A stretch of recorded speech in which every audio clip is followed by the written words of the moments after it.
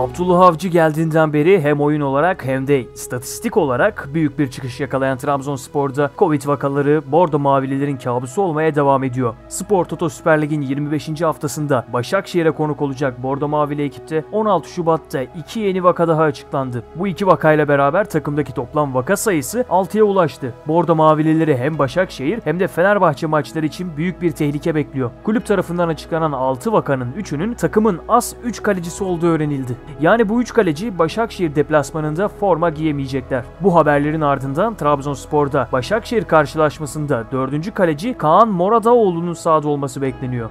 Peki Kaan Moradaoğlu kimdir? Kaan Moradaoğlu 10 Ocak 2003 tarihinde Trabzon'da doğdu. Doğduğu şehrin takımı Trabzonspor'un altyapısında futbola başlayan Kaan, takımın U16 ve U17 kategorilerinde yer aldı. Gösterdiği performansla beğenileri üzerine toplayan Kaan, U14 ve U17 milli takım kadrolarına da çağrıldı. Milli takımlarda toplam 2 maça çıktı. 2003 doğumlu genç kaleci Kaan Moradaoğlu 4 Şubat 2019'dan başlamak üzere 1 Mayıs 2023 yılına kadar Trabzonspor ile profesyonel sözleşme imzaladı. 18 yaşındaki Kaan kariyerinde henüz bir Süper Lig veya kupa maçına çıkmadı. Üst üste gelen vaka haberleri 1.93 boyundaki genç kalecinin Başakşehir deplasmanında forma giyme ihtimalini yükseltti. Kaan Moradoğlu kariyerindeki ilk Süper Lig maçı için Başakşehir deplasmanında şans bekliyor olacak.